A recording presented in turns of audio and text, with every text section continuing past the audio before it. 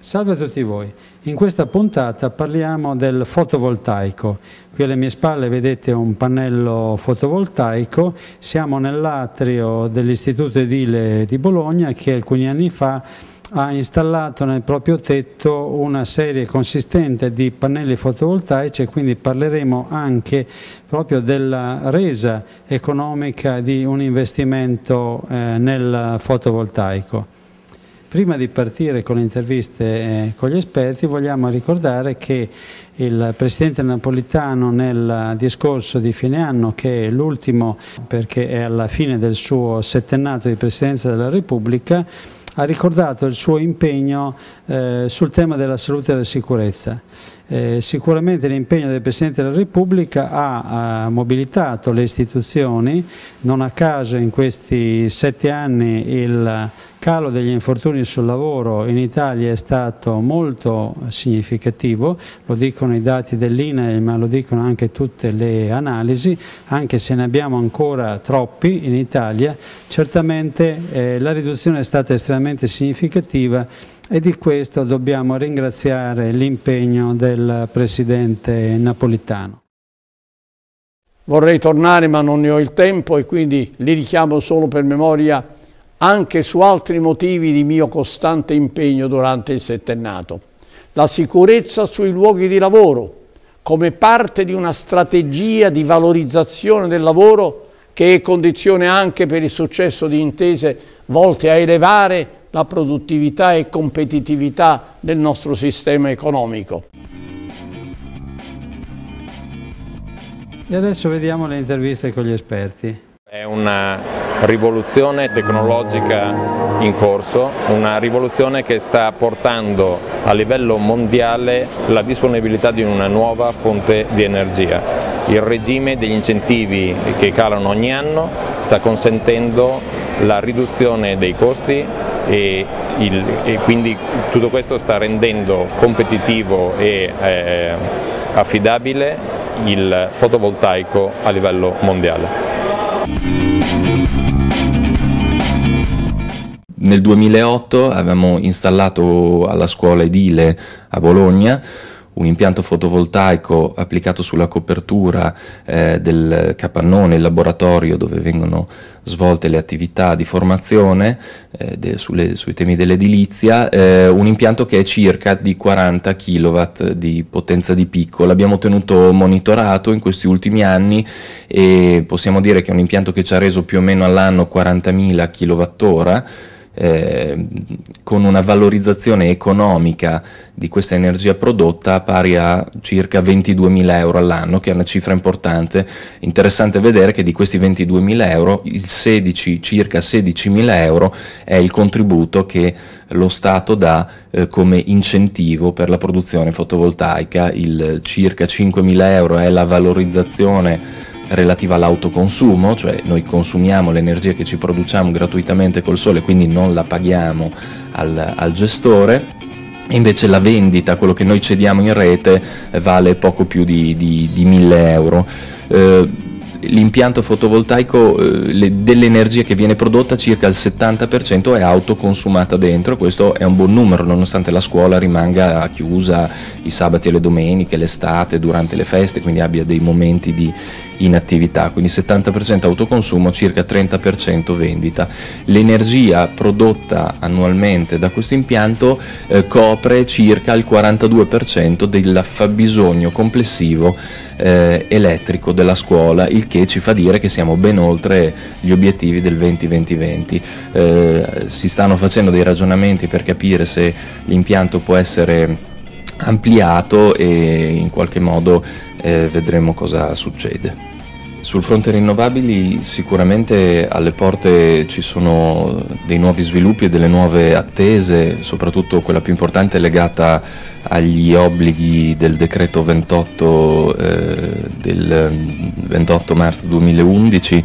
che eh, impongono di soddisfare almeno il 20% dell'energia per riscaldamento, per acqua calda sanitaria e per raffrescamento attraverso fonti rinnovabili. questo limite del 20% che vale già adesso per le nuove costruzioni, per le ristrutturazioni importanti, andrà via via crescendo fino ad arrivare al 2017 dove dovremmo soddisfare